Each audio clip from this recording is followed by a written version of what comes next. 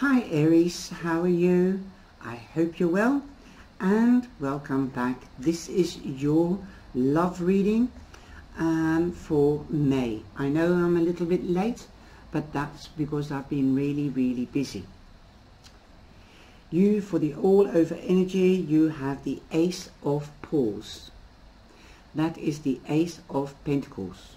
And there is a small saying on the bottom, and it says, For the most wild yet most homely narrative which I'm about to pen, I neither expect nor solicit belief. The Black Cat. That was a nomin uh, made by the Black Cat, whoever that may be. But this is the uh, Tarot of Poe, and he was a poet and he was an author. So, there we go. Just taking a drink of water. Sorry, sweeties. Also, um, we're going into the meaning of the uh, cards. You've got the Ace of Pentacles, so money could be coming into you. This is the love reading, so money could be very important in your romance life. You might want to marry, you might want to get buy a house or live together or do the house up. So perhaps now you are getting a promotion or a wage rise or you've applied for a loan and it will come through. Also where there is a new beginning, in the aces there's usually in the traditional tarot a hand reaching out from the cosmos or the divine bringing you an offer. So there could be an offer of a job, promotion. and this could also be a new person coming into your life if you're single. Remember, I'm reading for married, single people, people going through a divorce, things like that. So definitely for people that are single, there could be a Taurus, Virgo or a Capricorn coming in. Or you could have a permanent earth sign around you. We also have the King of Wells. The wells represent the inkwells, um, mainly in this deck, so that is the cups so you could be meeting Cancer, a Cancer prominently, or a Scorpio or a Pisces. But Cancer, the king, is the first house and Cancer is the first house in the astrological zodiac calendar. So you could be meeting a king. He's a nurturing, loving, passionate, sensual, um, handsome man. He's a great provider also the King of Cups um, uh, is um, a great um, a great lover. He can be moody, but if you know how to laugh with them, they change their mood like that. You would think it would be a, a Gemini. He goes with the wind, or rather he goes with the flow. Um, so if it is a gentle flow and a nice flow, he can flow gently in between the cracks and cr crannies of the rocks and he'll be fine. I was never really insane except upon occasions when my heart was touched. There you go, that says it all. So if you touch his heart, he will come out of his mood. But he's a beautiful and also very loyal, very loyal. They don't like changing. They're a lot like the Pentacles. They're for long term and um, they want something that's tangible as well. Okay. But also they need people that go with the flow and could understand em, uh, empathicness and intuition because they're usually also very empathic and intuitive. The two of quills is the two of swords. You might not be able to see the good side in a situation or in a person especially if you're going through a divorce. Remember it is hard to remember if you're going through a divorce um, why you fell in love with this person. Try to remember and try to recapture the good uh, side of people. Um, it doesn't some people turn once they are hooked up. Marriage can change them. I know all about it.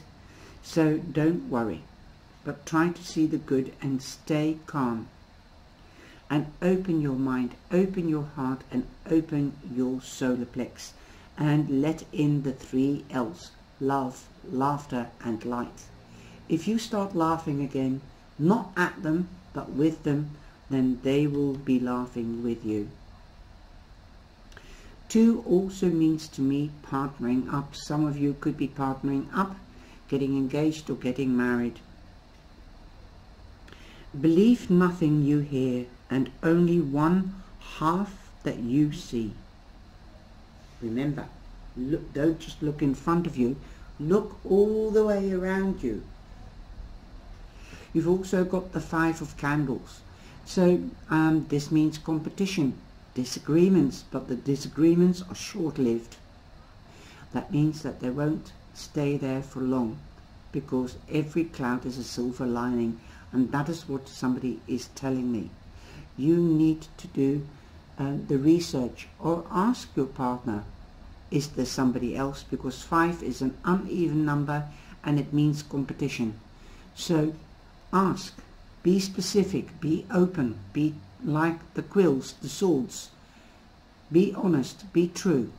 You need a transparent be transparent. You need clarity clarity. Like so do they then they if if there is a um, um, a doubt and there is competition they have to decide they want to be with an honest, loyal, trustworthy person that is also transparent and can and is willing to communicate.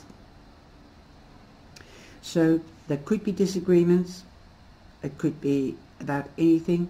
Um, I don't see moving home or starting a family, but I do see a mother here with a child and it looks like sandcastles. So that gives me an idea um, that it could be that you could be building something. You might want to start a family. This could also be your higher self coming out into the material world. You might be competing with an uh, like I said an empathic person. Learn from them and let them learn from you.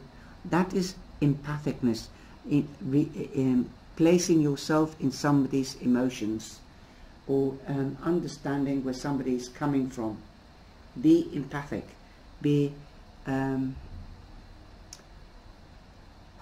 uh, show your emotions and see their emotions. Don't be blindfolded by their emotions. don't look through pink colored glasses. Keep it realistic. Otherwise it will lead to disagreements and, and even worse, arguments. But you're halfway there. So come on, Get out there and communicate. Take action. You've got the ace of candles, the ace of wands. So come out and take action. Start communicating. Plan. Be strategic. If you want this person, then go for it. Can also be any of the fire signs. Aries, Leo, Sagittarius. And with the Pentacles, Taurus, Virgo, Capricorn. So there you are. Those are the people within your reading. Now I'm going to clarify the cards. So yeah, you this is the basic meaning. Listen to your emotions, know your emotions and your intuition, listen to your intuition and also your other halves. Okay? He won't wear the, his heart on his sleeve, but he is emotional. But he is the king, so he's got it, his emotions under control. If you want to see more emotions from I love you, I want you, Tell him. He's not going to know without you telling him. If you can't tell him, because you're closed off, and then get an arbitrator or a mediator. You've got the emperor. There again, you've got a fire sign. Uh, represents Aries. Okay. So, and this could be um, that for those that are wanting to get married and are organizing to get married um, this could be the uh, like the registrar office, the register justice of the peace. This could also be the priest. He's an angel in this deck. All the cards are angels. Um, so it could also be the priest, could also be doing prenuptials. You're not seeing um, reality.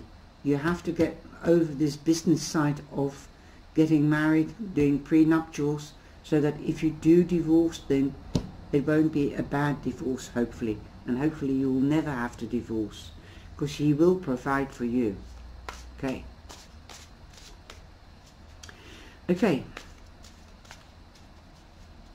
If it is if you're getting married and if it's concerning belief or religion faith then talk to somebody about it from both sides. Try to see both sides of the coin okay? And trying to find the balance. You've got the two of swords and two of pentacles. If it's about money talk about it.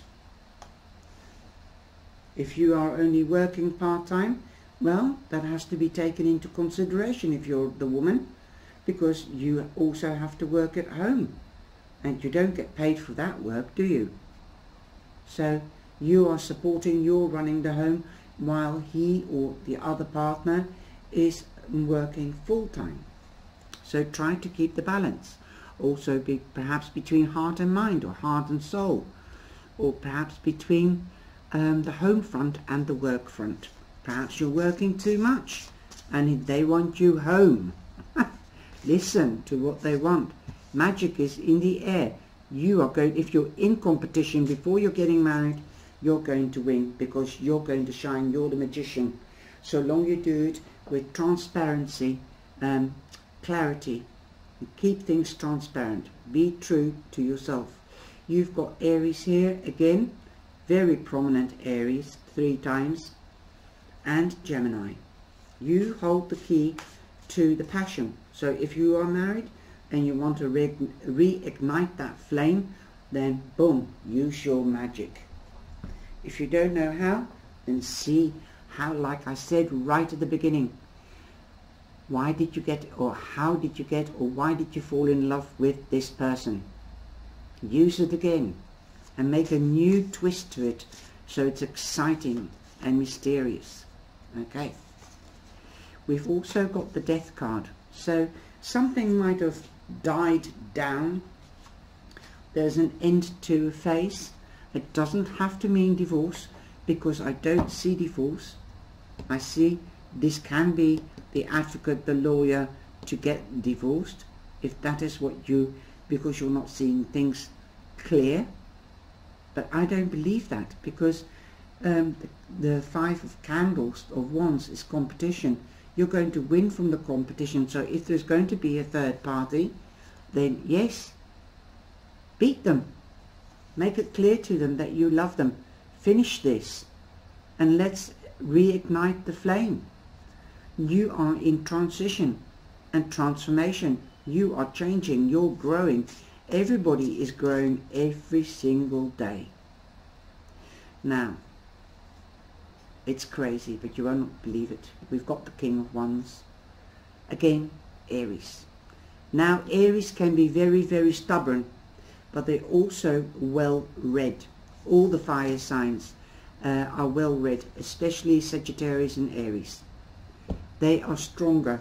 They're so stronger, so much stronger than a lion. The lion is more docile until he gets made angry or really if somebody's rattled his cage, then he'll stand up because uh, if you look at the lion and the lioness, the lioness does the hunting and he just lies around and he only comes into action if an, uh, somebody comes in that's threatening to his group.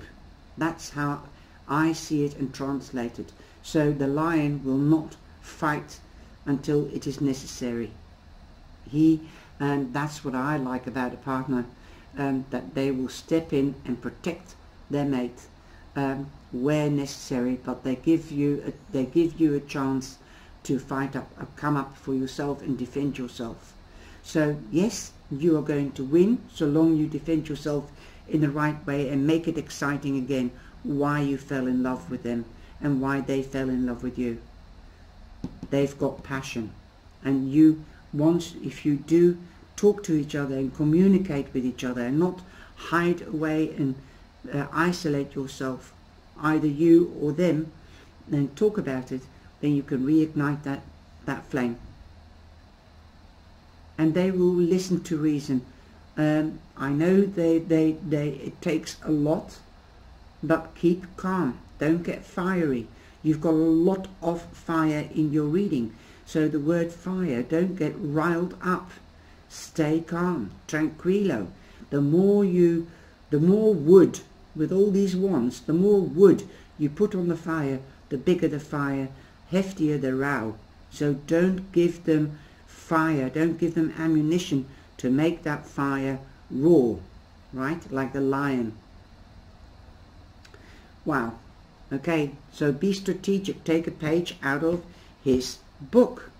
Aries, Aries, Aries. Um, Aries. So definitely, wow.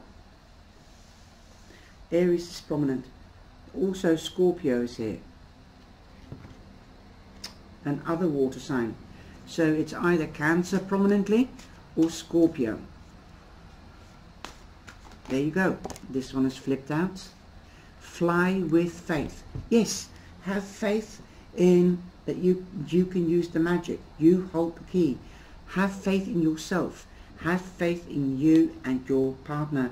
If this is um, if if it, you haven't got a partner, have faith that you can uh, win their heart. Now, fly with faith. Let's have a look.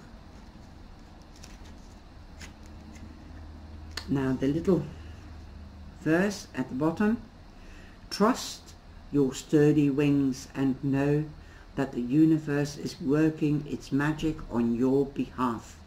And this is the reading for you, Aries. And you are very, very prominent in this reading. You could be married with or hooked up with another Aries, but take note. Don't be too fiery. Set your boundaries and don't always have the last word. Calm down. If you love this person and you're so passionate about it and you want to make it last, you have to know what they want and their boundaries and you have to let them know your boundaries and what you want. You can make it work. I know some some Aries that are married for 25 years, 30 years and once they get divorced they're, they're still in each other's lap or pocket. So don't give up because you fire signs don't let go. Trust your sturdy wings and know that the universe is working its magic on your behalf, but you have to be open to receive that or willing. Just as the hummingbird knows that it will find the nectar it needs to survive, even on its longest, most harrowing journeys, you are being asked to trust that universe is truly on your side and that everything will work out more perfectly than you can imagine. Like I said, know your boundaries. Go back to what you fell in love with and what they fell in love with. Go back to the core. Wow. Royal Hummingbird reminds you that there are so many things in your world that you easily trust, such, such as the sun rising in the morning and the oxygen being available to fill your lungs. Yet often you find it difficult to trust yourself, others, or greater good that is always flowing to you from the universe. Perhaps past disappointments or ego-based fears are clouding your ability to find optimism, even though you may not yet see the fruits of your efforts or answers to your prayers. You are being asked to have continued faith and believe in the promise of the blossoming rose. You only need to surrender, like I said, be open to receive. Let go as best you can and trust. Take a deep inhales, letting the air out with a loud verbal sigh each time and feel your body begin to relax. Then imagine a dozen hummingbirds hovering in front of you, holding a beautiful empty basket. Fill the basket with your worries, concerns and fears and feel the relief as the hummingbirds fly off into the heavens carrying your burdens away. Let go of how you think things should be. Let go of needing the, to control circumstances, details or other people. Let go of anything and everything that is keeping you from knowing your true beauty and worth. Relax in the peace of freedom, knowing that everything is exactly as it should be. When you do this, you allow the universe to work its magic on your behalf. Ride on the powerful, supportive wings of the royal hummingbird and fly with faith. I love it. I trust, this is the affirmation you can use. I trust myself, others and the universe and know that everything is working out for my highest good. Wow. I hope you've enjoyed this, Aries. Take care, stay safe, and start working to get back the passion within your life. Even if you're on your own, open your heart, let that flame be ignited and beam it out towards the outer world. Thank you for your likes and shares. I appreciate it so much.